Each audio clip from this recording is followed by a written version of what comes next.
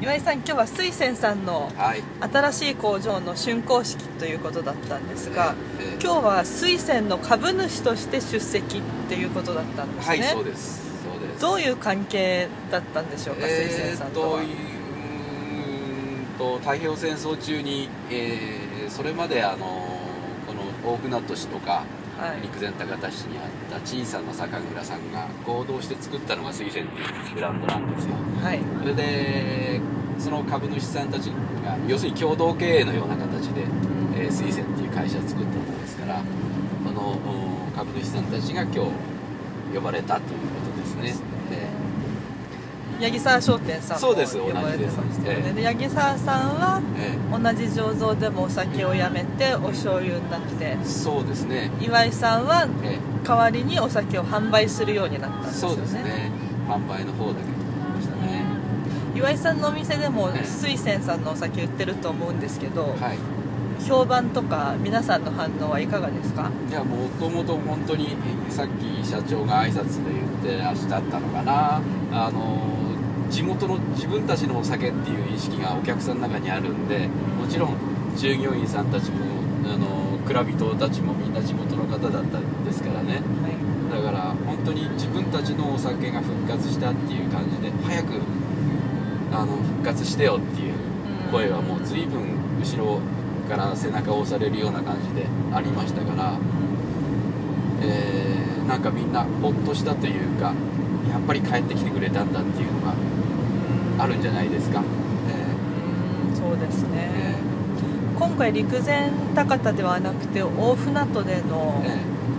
新しい蔵だったんですけど、ーえやーえっぱり陸前高田にまた近くに戻ってきてほしいですか、ーえー戻ってきてほしいですね。っていうというかあのここはあの旧気仙郡って言いまして、はい。まああのえーと行政では陸前高田市大船渡市と分かれてますけどももともと同じあのなんていうかな、えー空気のあるところのもねまあ、のですから一つの文化圏ってことですよね。気仙文化圏って言っていいですかね。言葉もほとんど変わらないし、えーまあ地元という意識気仙っていう意識がありますんでうん。あまり抵抗はないですね。うんそうですよね。この間はちょうどお祭りでえ。水仙さんと同じ組だったんですよね。えー水仙の社長と同じですね。お祭りの様子はどうだったんですか？えーとねとってもいいお祭りになりました。去年はやったんでしたっけ？あのやることはやったんだけども、うん。あの小学校のグラウンドでみたいな感じで、はい。今回はですねあの前にあった我々の商店街のところがメイン会場になったんですよ。はいですから、えー昔と同じような形で通りにみんなが集まってきてお祭りをするっていう形で、ただ決定的に違うのが通りの周りに店がないという。出店は出たんですか？出店の出ましたね。うん。でもねあの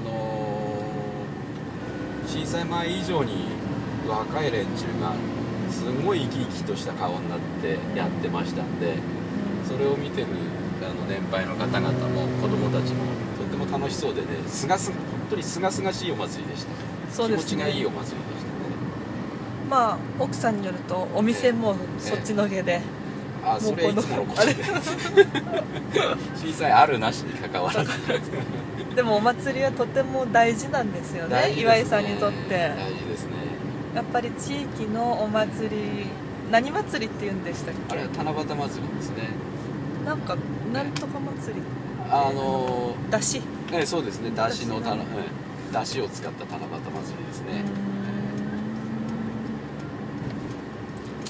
あのーあのお祭りのいいところは誰のお祭りとかじゃなくてうん。ちっちゃい子からおじいちゃんおばあちゃんあ歩けない人までみんな参加できるお祭りなんでね制作の段階からうん。小さな紙和紙を作って使って作るお祭りなんでうんうちの親父なんかももう歩けなくなるような時からですねそれで家の中にいてその花を畳んだりねうん。そんなことすらできるんでうん。本当に、えー病人でも参加できるっていうのがお祭りで今年はやっぱ地元の人が多いんですか？外からのお客さんが今年はやっぱり外からの方も相当いましたね。随分協力してもらいました。地元の人間がうちの祭り組だと半分ぐらいになっちゃったんで、うん。えー実質的に動かすのが大変だったんだけどね。みんなでこう大変そうなところにみんなで手伝うというような形でやれたんでなんかねうちの組も一箇所もう出し出せない松原組っていうところ。のはい。若い連中が一緒にやらせてくれないかっていうことでいいよって。うん。で一緒にやったんですよ。だからこう普段のお祭りと違ってこうみんながこう手を出し合って助け合ってやれたというのがねとっても大きな財産じゃないかな。いつも以上に価値のあるお祭りだったと思いますよ岩井さんは昔からその頭だったんですか？今回初めてなんですか？あの若い時に頭一度やりましたし。あれ持ち回り制なんですか？うちの場合は年功序列なんですよ。年功じゃあだんだん年も上がってきて。そうそうそう、うん、年功序列でね。まあ一緒のうちにいっぺんやるというような、やれればまあ名誉だなみじ。ゃあ今年みたいな年に頭をして。うんっていうかね私はもう、うん、何年か前に頭も卒業したんだけどもうん年寄りの方になってんだけども何しろねいっぱいな先輩も後輩も亡くなっちゃったもんでもうやらざるを得ない年齢だったもんだから、えーしょうがないなっていうこと。で、なんですねわかりました。じゃあちょっと話を変えはい。話題を変えて、今のお店の状況はいかがですか？お店はですねあのおかげさまでとてもお客さん来てくれて、えーいつものですね倍まではいかないかもしれないけどもそれぐらいのお客さん入り込み数だし売り上げの方も上がってます、ね。え出資者の方とかいらっしゃることもありますか？ーおいでになってくれます。何度も足運んでくれる方もいるしあ同じ人で、ええええ。顔なじみになっちゃった人もいるし。そうですね、えじゃあしばらくはまあ今の店舗を充実させてっていうことところですよね。まだあれ一応仮説ですけど、ええこのままええ長く使えるように内装も結構力を入れて。そうですね。あの内装の方はもしですね映ることがあっても、うん。えーそのまま使えるようにと思って作ったんでね、うん。あのなんていうか宿借りのようにその引っ越せるんですよ。全うん。部パネル式にしてまああのいつでも引っ越せるんだけども今の場所が決して悪い場所で商売するに悪い場所じゃないんでうんはい。もしかしたらあの地主さんがいいよって言ってくれれば、うん。入れるかもしれないしただあまりにもこの町は中心になるところが何にもないもんですからはい。あの今大手のショッピングセンターの計画があってですねそれが出ちゃうともう町はますます衰退するだろうなっていうことがあって今は中心商店街をみんなで作り出そうとはい。作り上げよう。でその中に我々も入り込めるような形だといいなっていうことで計画してます。木村屋さんなんかもうん同じ考えで動いてます。あの今回の土地川沢土地ヶ沢ベースに入ってる旦那氏はもともと顔見知りではあるけど一緒にお仕事はされてなかったんですよね。えあのーそうですね。あの全員があの顔見知りってわけじゃないんですあけどね。そういうことでもないんですね。もともと木村屋さんと私いや木村屋さんがまあ言い出しっぺだな。うん。あそこのご親戚なんですよあの地主さんがね、はいそれでそこの地主さんが貸してくれるよっていう話があるよ、岩井さんどうって言うからあじゃあやろっかっつって貸してくれるんだったらラッキーだねっていう話で。木村さんと私とはあの震災前から商売の話をよくしてたし、うん。はい。え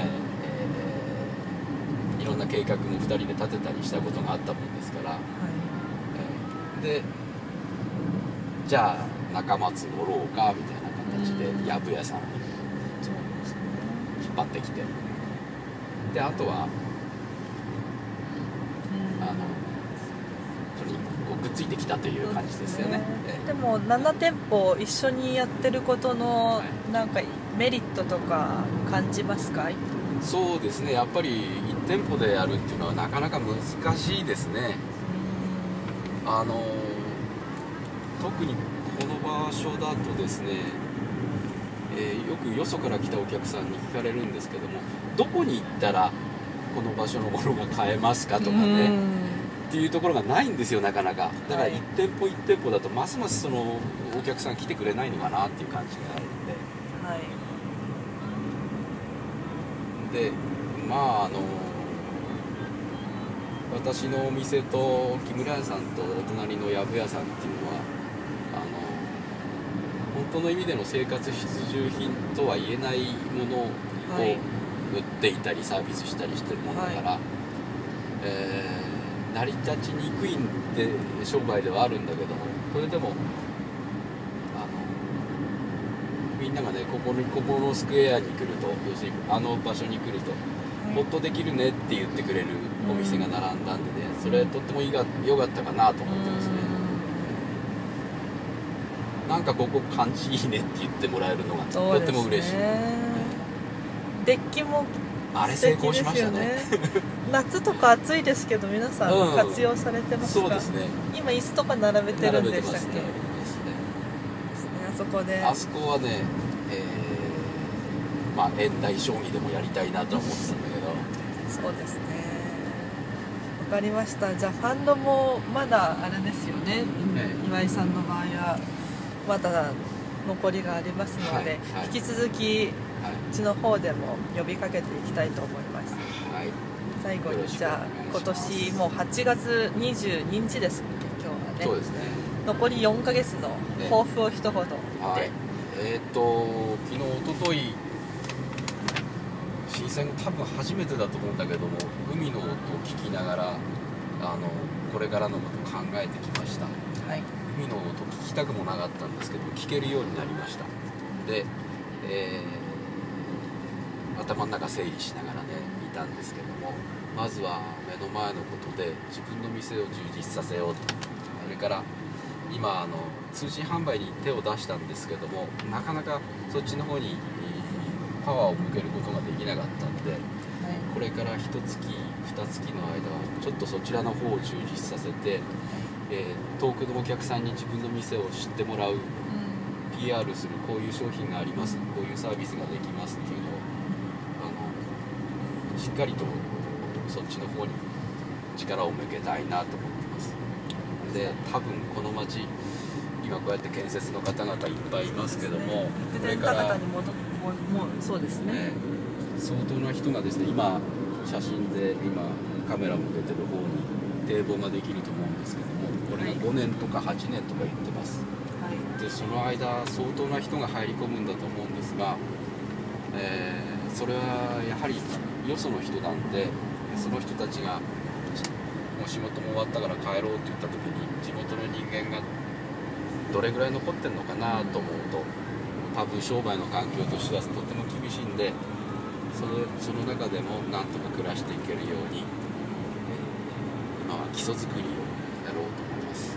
基礎作りっていうのは何のことはない。信用作りだと思うんであのできる限り正直な商売をしたいなと思ってます。わかりました。はどうもありがとうございました。いありがとうございました。陸前高田の岩井さんに水仙酒造の大船渡倉の竣工式の会場から陸前高田までの道のりの間にお話を伺いました